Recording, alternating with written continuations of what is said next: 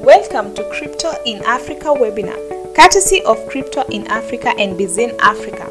This session has been proudly sponsored by bitcasino.io in conjunction with sportsbet.io, the number one crypto betting casino and sportsbook in Africa. So thank you so much for, joining us. Uh, my name is Nixon Kanali. I'm a tech editor uh, for Tech Trends Media. And what we've been doing over the last couple of months is basically trying to talk about crypto, talking about blockchain, and the direction Africa is taking when it comes to adoption of crypto through the, the Crypto in Africa podcast, you know, stock webinar. And we've had an interesting conversation talking to very various industry leaders, you know, on, you know, CBDC, talking about peer-to-peer, and basically, you know, all other conversations, anyone who want to know about crypto adoption in Africa. And today, it's an interesting topic we're going to be discussing about NFTs, which of course, you know, might not be really a common name to maybe most of us or anyone really doesn't follow crypto closely. But of course, you know, I'm hoping Brian, who's I'm let us tell us, you know, take us through all this topic and everything we need to know. So yeah, my name is Nixon Kanali, as I said, and thank you for joining us. So our good starting point will be, today we only have one panelist, Adam, and I'm to let him introduce himself. So Brian, can you introduce yourself and tell us what you do? Yeah, I'm quite obliged to be part of this session. Um, the topic is quite interesting.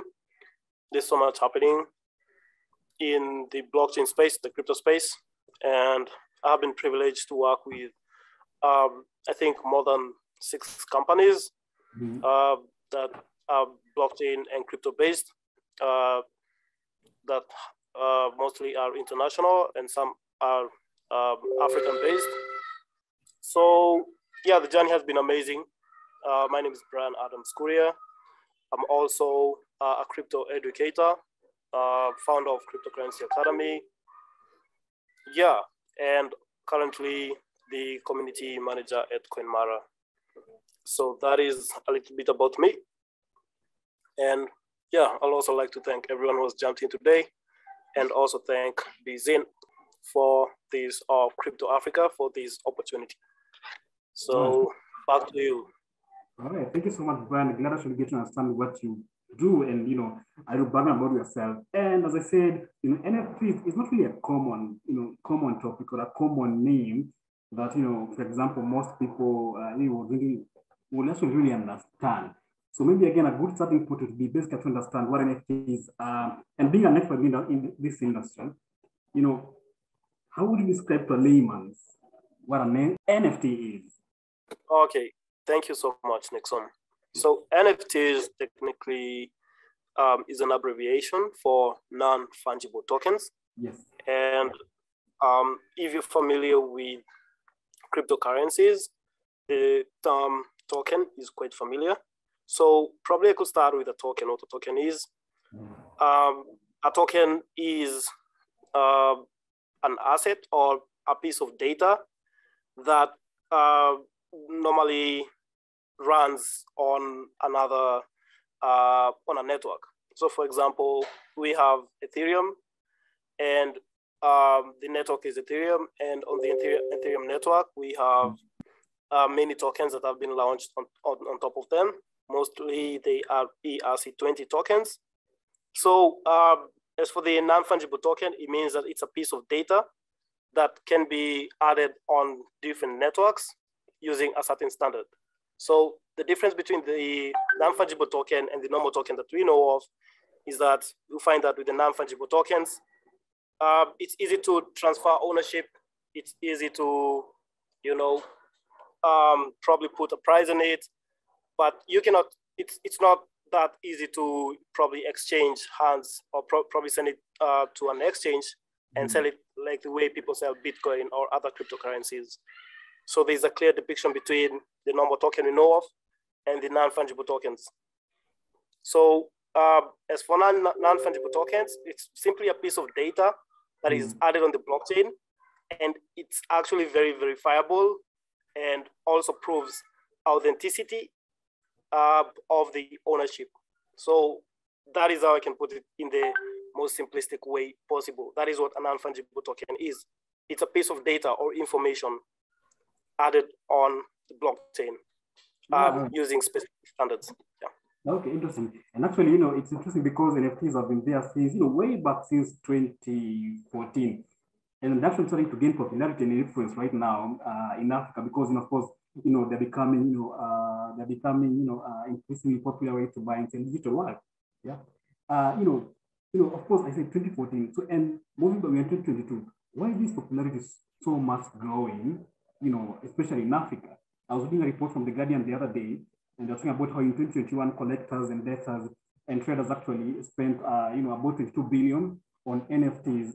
You know, of course, that's up from around, you know, uh, from around, uh, you know, uh, 100 million dollars in 2020. You know, why is this popularity growing in Africa, especially in Africa? Okay, thank you so much, Nixon, for that. I mean, the entire, um, yeah, it's true. NFTs are quite new, but they're gaining um, mainstream adoption. It, it, all started as a joke from mm. CryptoKitties back in 2017. Um, CryptoKitties became very popular. People could sell some online cards, some digital cards that could be able to breed with one another. And people are selling them for huge amounts of Ethereum. Yeah. So fast forward to 2020, 2021, 2022, the term NFTs started becoming popular um, through uh, different people, uh, such as Jack Dorsey, who sold his first tweet um, as an NFT.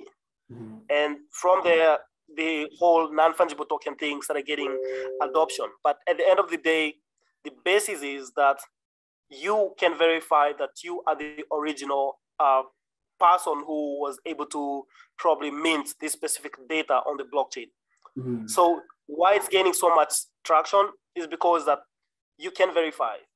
Traditionally, you could create a piece of painting, and probably to be very hard for you to, you know, uh, prove that you are the original owner. So yeah. NFTs, what non-fungible tokens do is they make it possible for the original owner to prove that he or she was the original minter, since there's always a timestamp. Uh, if you upload a piece of data, let's let's say it's a screenshot of mm-hmm. what is happening right now, right? This session, we can take a screenshot, upload it probably on some NFT platforms, mint it, and there will be data that this happened. It was at this time, um, and this is the person who verified it. And if you if Crypto Africa decides to sell it, they can do it. They can put a bid on it, probably 0.5 ETH, or whichever cryptocurrency that they will like. Probably, if you're on Solana, probably could be 200 sols. Mm-hmm. Whichever, whichever network or whichever cryptocurrency is supported on that platform, you can sell it. Yeah. So it's gaining so much traction. There's NFTs in that, NFTs in gaming, mm-hmm. um, NFTs in music. I mean, the industry is so huge. And Right now, we are seeing so many people, especially in music, yeah. musicians out there coming into the NFT space.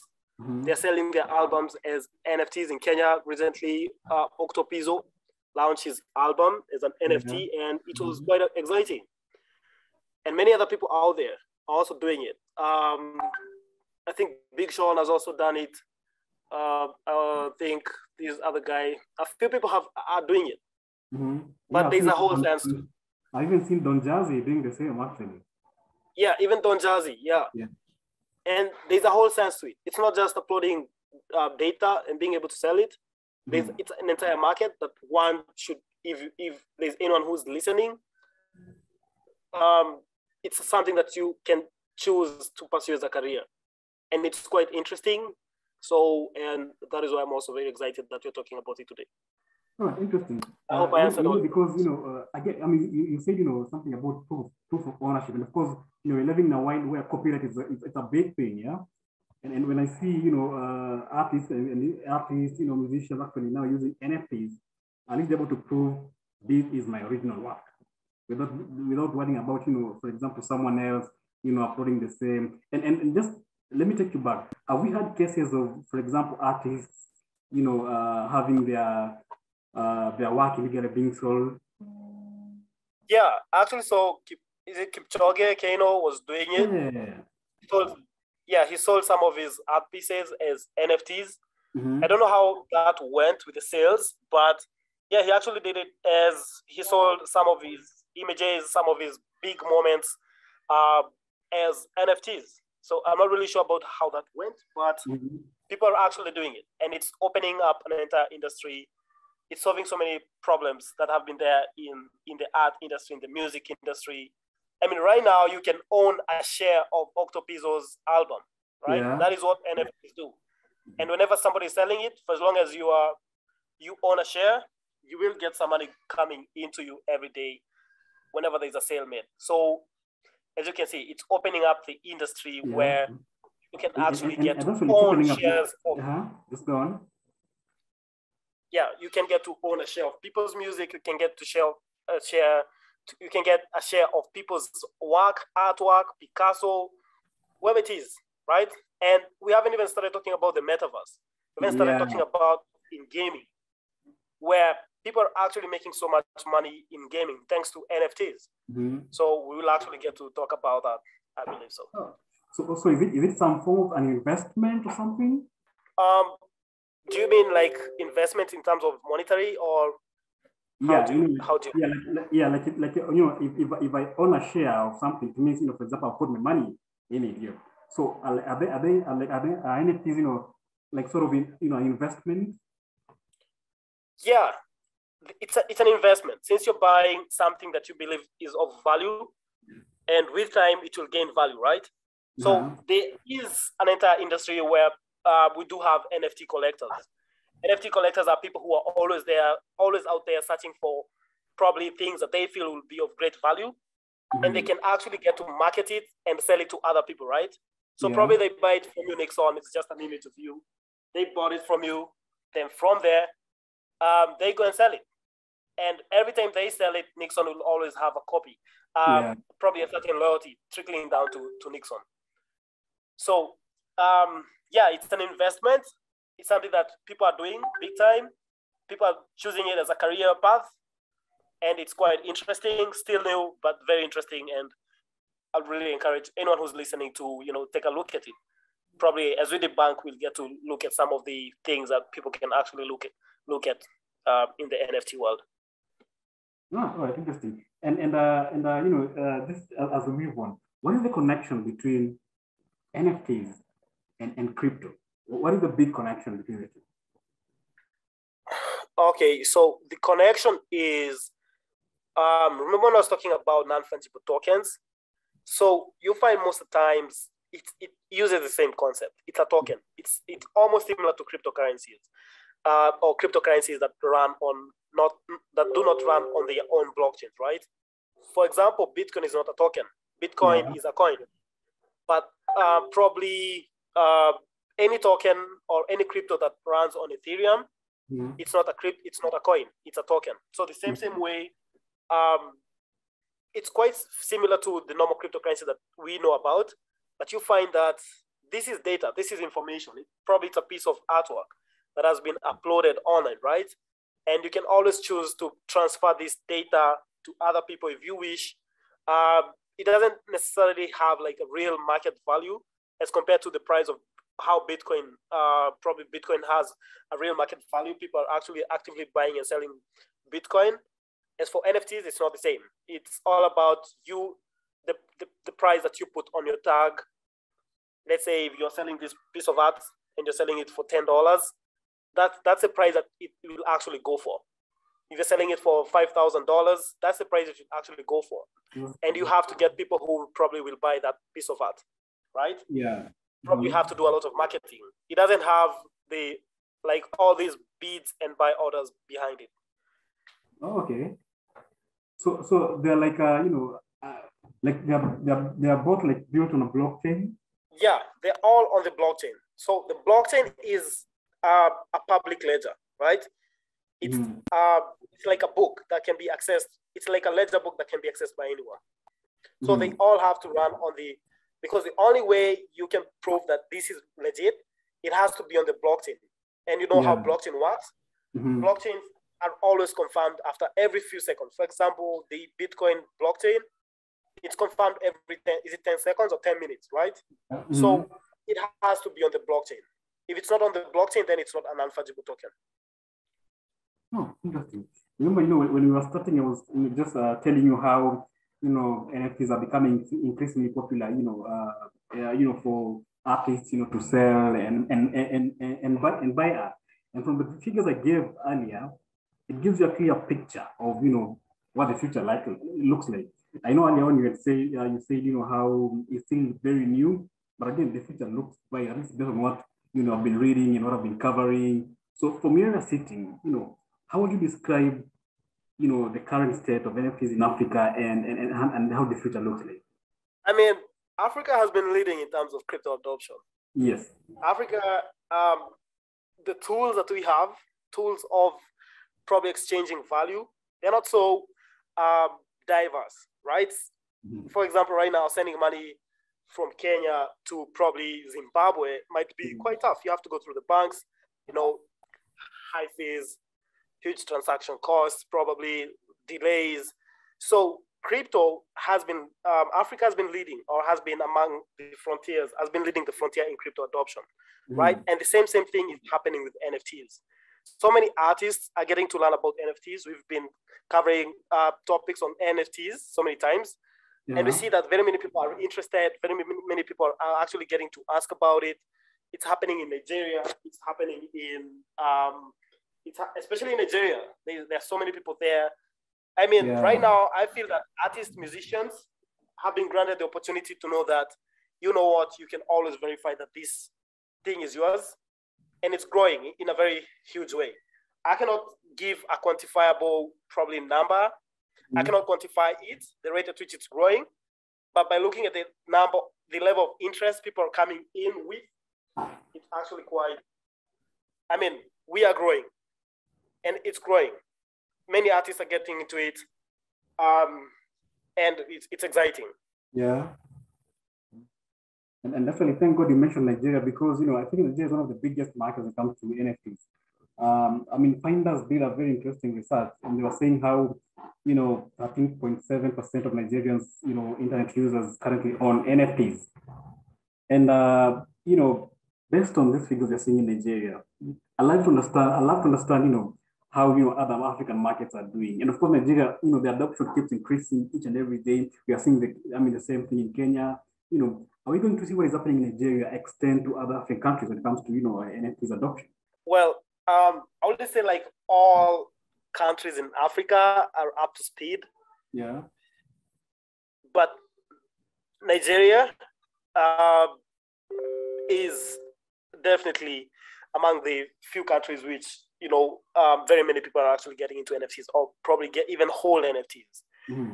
Um, if you come to think of it, the state of how things are in Nigeria, I mean, it's very competitive.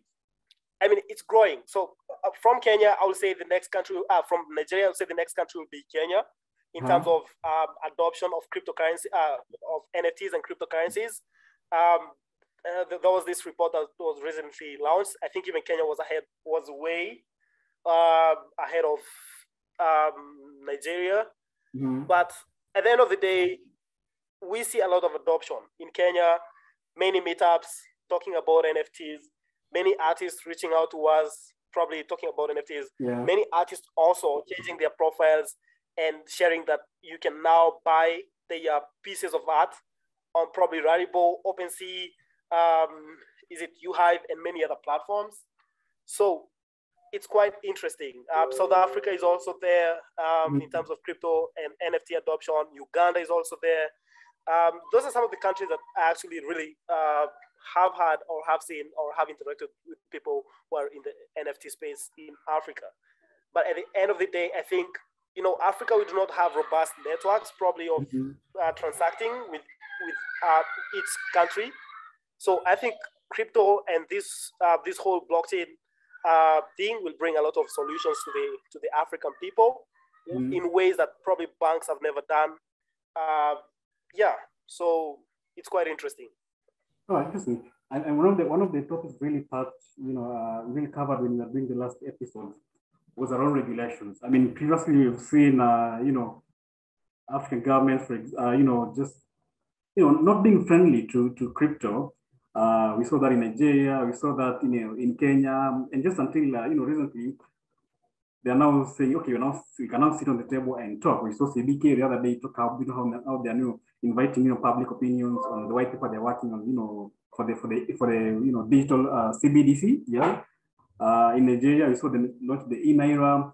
So it's about regulations. Are we going to see the same regulations being applied to NFTs, or if there are really any regulations, do we have any that you know that you've read about or you've seen you know being you know uh, brought up brought up?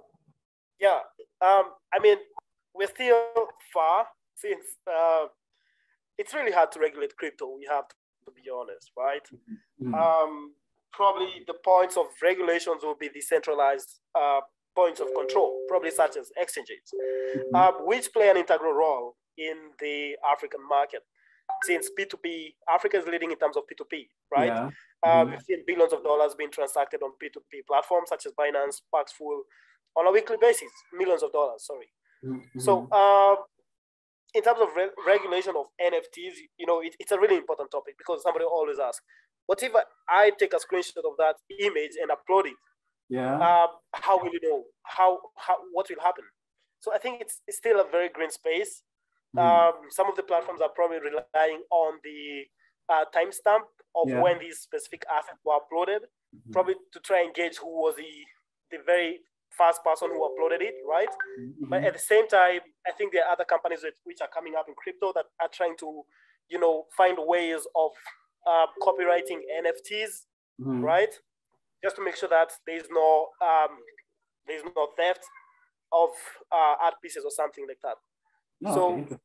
And, and one, one thing I really uh, know is that you know Africa has a shortage of, of, of collectors. Uh, you know, uh, I mean, African artists still have a market problem. Uh, you know, the number of creators is, is, is big, of course, compared to art collectors, right? So how do we make sure we get enough people to actually on board? How do we get more collectors on board? Okay, so how how do you go about this? You know, to become an, an NFT collector, it's a journey. It's not something that you just start. Um, so I think it's all about uh, there's, there's this uh, important section about NFT marketing where it's always good to interact with communities um, just to learn how to become an, uh, an NFT collector, right? Mm. Um, and NFT collection definitely needs money, right? It's an investment. You buy somebody's pieces of art, or probably you're in a game, you buy the car, a very nice car. Probably the first thing would be to understand what NFT at a later date, right? Mm-hmm. So um, NFT marketing or yeah, NFT marketing or NFT collection, you definitely have to be good at that. But I really recommend people to start interacting with other NFT collectors out there. Probably ask them what type of things are they looking at yeah. in the things that they are collecting. How are they able to gauge if something is of high value? Um, yeah. And one thing I got I forgot to talk about is that you find with NFTs, yeah, it's like uh, whenever you mint something as an NFT, there's this aspect of sc- scarcity that it will be the one and only probably version that will ever exist.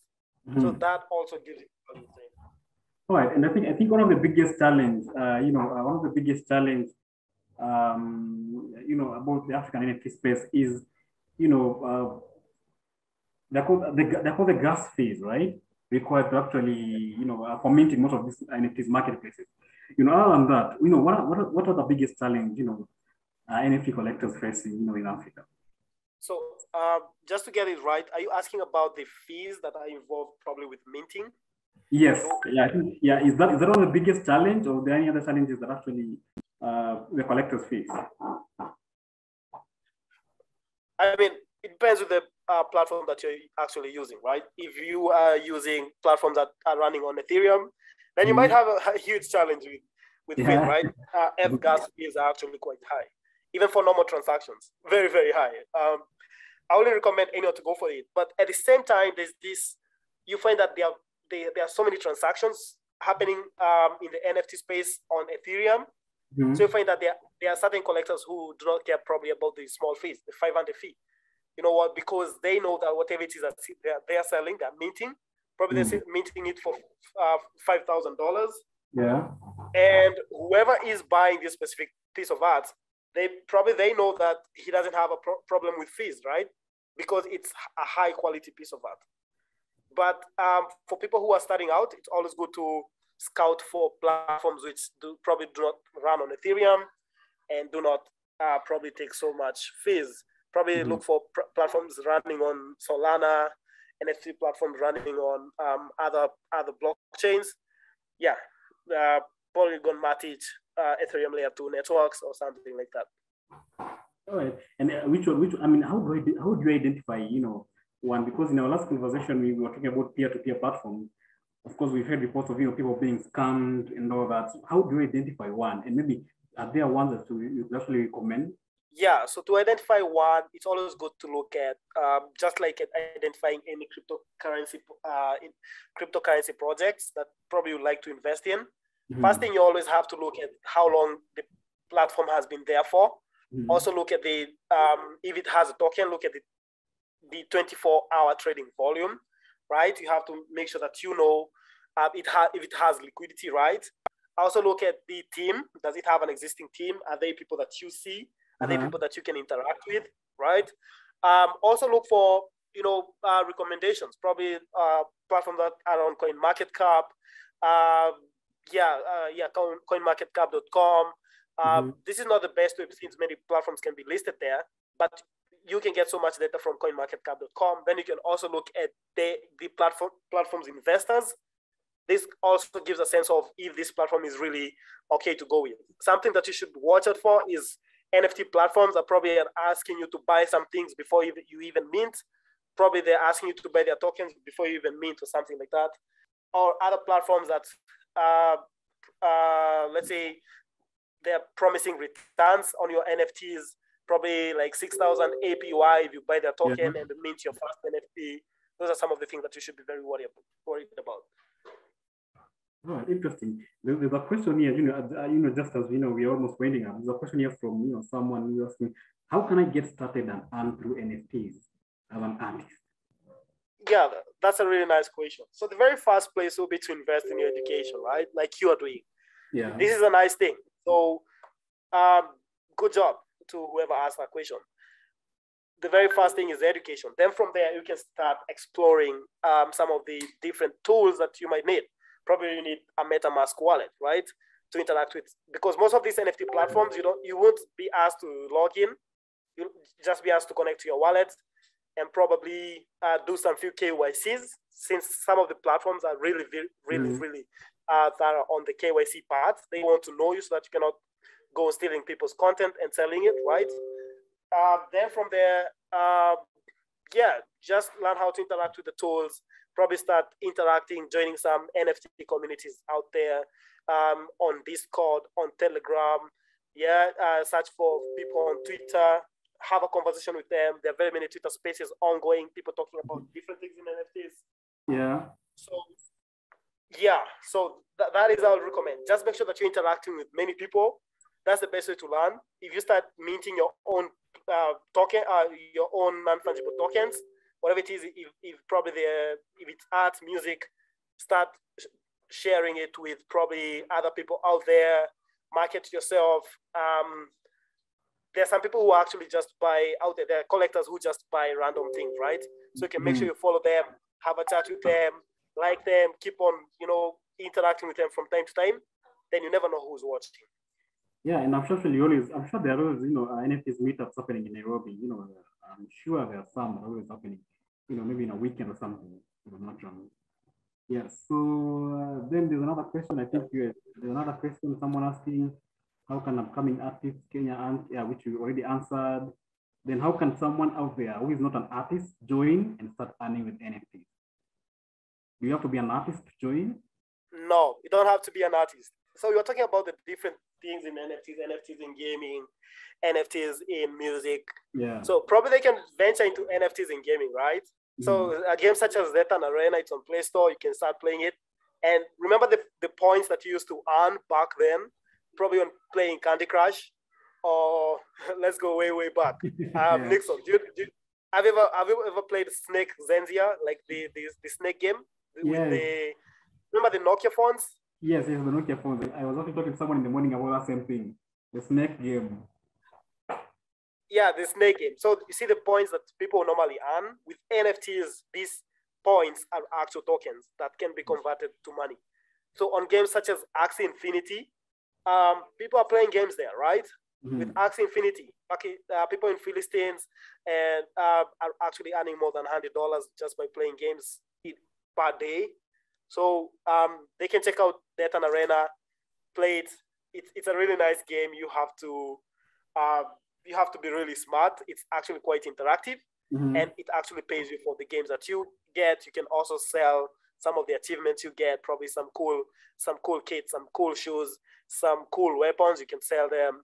Yeah, uh, uh, for people who love probably fast shooter games, they can look at um, uh, games such as Decimated, Star Atlas. Yeah, they can play on their console, and they actually get also get to get paid. So this is what NFTs is doing. It actually makes the traditional side of things really boring because right now people are getting paid for playing games. You can only imagine. Oh, interesting. And you know, it's good you know you spoke about that because one of the questions actually I was about to ask me, and I think I've, I've, been seeing I'm seeing someone asking the same question. You know, Kevin Maina, you know, is asking, you know, do you need to understand? I mean, one would ask, do you want you need to understand crypto to be involved in NFTs? Those are two different things. Yeah, you need to understand crypto. Um, you need to understand how it works. Since most NFT platforms, you have to interact with crypto you have to hmm. interact with crypto tools such as MetaMask wallet. Wallets, you have to interact with them, probably Trust Wallet. So you need to have a, a level of understanding of how this whole thing works. Because you're paid in crypto, right? Yeah, you are paid with crypto, as in everything you're interacting with, it's crypto. The money is crypto. Um, but I've seen some platforms here in Kenya that are trying to come up with a way of bringing M-Pesa into the NFT platform. Um, it's a really nice project. Well, I wouldn't recommend anything because mm. there are so many platforms out there. So if you want to invest probably in some NFT platforms, you can go to platforms such as Rarible and buy their cryptos, right? Let's say if you don't want to buy NFTs, you can buy the platform's token. Yeah. Because in a way, um, in a way, the platform is designed probably to bring value to the token, right? You can go to OpenSea, probably they buy their own token. And there are very many other NFT platforms out there. There's a social media platform known as YouHive mm-hmm. that actually mm-hmm. earns you money as you post. YouHive, yeah, it's very interesting. looks like a metaverse, very interesting, and it earns you coins every time you post, every time you like somebody's pic, every time you get in. It's mm-hmm. like an Instagram that pays you, and their token has real value. Wow. So, so much interesting, yeah. So probably they can check out some of these platforms. YouHive, that is the name. It's on Play Store make sure you check it out. Ah, okay, interesting. Maybe now one last question is which which is the easiest the easiest NFT space for one to join and earn earn from? Yeah. okay. Um, well, I only I only know which one is easy to be honest, because I mean there's so many things happening out there. Yeah. I've interacted with crypto kitties, and for me probably they were so way easy to breed some cards mm-hmm. and get some. Like I could buy two cards, breed them, get some really unique card and sell it for for a lot of um F back then. Right now, probably it's not very. So I don't. I, I wouldn't know how to gauge the easiness, but mm-hmm. some of the games that I talked about, they are quite easy. Just download and start playing. You can cash out. Um, YouHive is just a social media platform. You go there, find memes, like just the normal way you spend on Instagram. Mm-hmm. Um, you get you get paid, and these tokens have value, real real value that you can actually convert. So imagine if you're a social influencer, you mm. become the very first on, the, on platforms like this. Imagine if Instagram was paying you tokens and you're among the very first people on Instagram, how much will you have? So these are some of the questions that you should definitely ask yourself. So just interact with the platform probably that do not require a lot of tools like MetaMask. Go to YouHive, check it out. Go to uh, Thetan Arena, download the game, check it out. Yeah. Oh, that's interesting. And I think earlier on, I remember talking about, you know, you know, uh, of course, you spoke extensively about this, you know, basically NFTs, you know, showing proof of ownership. And I think we can't run from talking, you know, you know, uh, talking about copyright. So how, how are the copyright framework with NFTs? Okay. Yeah, there's so many corporates. Uh, oh, the corporate world is also coming into NFTs. Mm-hmm. I've seen huge media anchors out there selling NFTs, their, their, their newspapers as NFTs. Um, I've seen big companies. I think some football state, uh, is it Manchester United wants to start selling some of their items as NFTs. So the reason I say it's gaining so much traction and value is because of the mainstream adoption or the mainstream noise. And this never happened with crypto. So with NFTs, everybody's talking about it um, many people are actually getting on board. They want to make sure that there is true authentic, authenticity, authenticity or um, they can actually get to prove ownership of their platforms Mhm. um, or of the products that they have. And NFTs actually provide the best options for that. So corporates, yeah, are getting in and they're very much involved. And I don't think this will stop anytime soon. So if you're gonna probably do some form of investment, look for some of the NFT platforms that these corporates are going for and make sure that you probably um yeah, I wouldn't say buy them, but you shouldn't miss out on such opportunities. Wi- without worrying about copyright, copyright, you know, and all that copyright. Yeah. So yeah, about the copyright, I mean the corporates definitely have to take care of that as well. Mhm. So we all know how corporates are.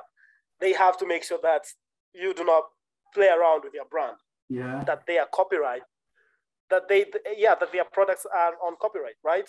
So yeah. I think most of the corporates are also taking care of that. Other platforms are coming on board and they are trying to find ways of making sure that some of these atrocities, probably copyrights being stolen, things like those, don't happen. All right. Thank you so much, Brian. I think you got to understand, you know, I I learned so much because I actually personally had so much knowledge about NFTs. So, but I got a chance to actually learn so much, and I hope actually everyone who participated in this uh, webinar got, you know, uh, to do the same. So maybe, uh, you know, just as we wind up, any closing remarks, Brian? The, the world of finance is changing Yeah. and it's changing right now. At this moment, as we speak, it is changing. I mean, since the inception of Bitcoin, I think this is where everything started changing. yeah. Right now, even governments are very much aware. We've seen Ukraine raising so much money through Mhm. Bitcoin, and they're actually recognizing Bitcoin as a, a, a, a currency that has actually came to save them a lot, right? Getting they're getting so much donations. Um, El Salvador made Bitcoin a legal tender.